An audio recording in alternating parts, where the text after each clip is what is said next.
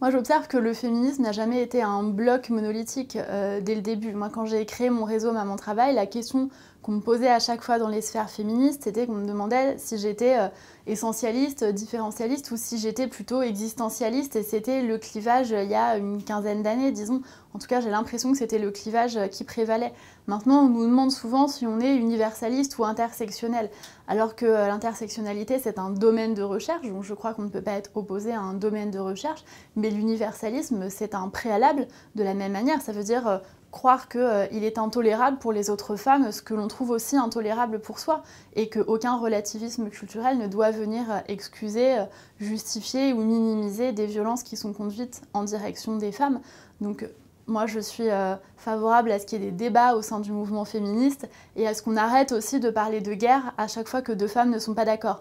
Dans le cadre des débats sur les tribunes, Récemment, en marge du mouvement MeToo, moi j'observe que les journalistes nous disaient souvent c'est la guerre des femmes, les femmes vont s'affronter, euh, etc. Quand il y a deux hommes qui sont en désaccord, personne ne parle de guerre, il y a un désaccord sur un sujet de politique publique. Toutes les femmes ne sont pas obligées d'être d'accord entre elles sur tout, toutes les féministes ne sont pas obligées d'être d'accord entre elles sur tout. C'est ça qui fait le débat. Mais surtout, moi, ce que je dis souvent, c'est que je suis féministe, mais je n'ai pas vocation à être la ministre des féministes. J'ai vocation à créer et conduire des politiques publiques pour toutes les femmes et pour tous les hommes, en dehors de telle ou telle euh, appartenance ou de tel ou tel clivage. Et vraiment, la question que je me pose à chaque fois qu'on va conduire une politique publique, c'est en quoi ça va améliorer la vie des femmes.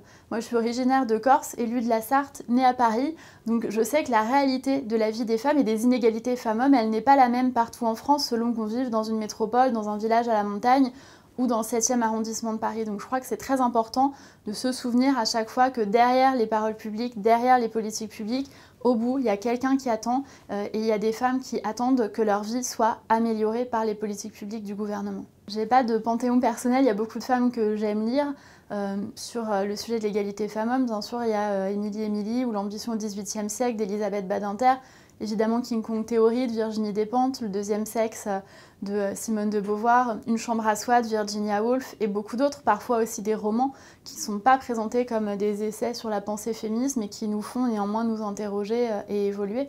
Mais je pense que ce qui fait aussi la richesse du débat et, ce qui nous permet aujourd'hui de pouvoir conquérir de nouveaux droits, c'est que dans le passé, il y a des femmes qui se sont battues. Euh, ça fait à peine euh, une génération ou deux générations que les femmes peuvent aller à l'université sans l'autorisation de leur mari. Ça fait très peu de temps qu'on a le droit d'avoir un chéquier, très peu de temps qu'on a le droit d'avorter, très peu de temps qu'on a le droit de demander et d'obtenir le divorce, très peu de temps que le viol conjugal est reconnu. À l'échelle euh, de l'histoire de l'humanité, ce sont des conquêtes récentes et ça, on les doit à des femmes et quelques hommes qui se sont battus sans relâche. Donc je pense qu'il faut s'en souvenir, se dire qu'on doit des choses aux générations précédentes, on doit des choses aussi aux générations futures qui sont en droit de nous demander, et nous, quelle est l'avancée qu'on pourra avoir.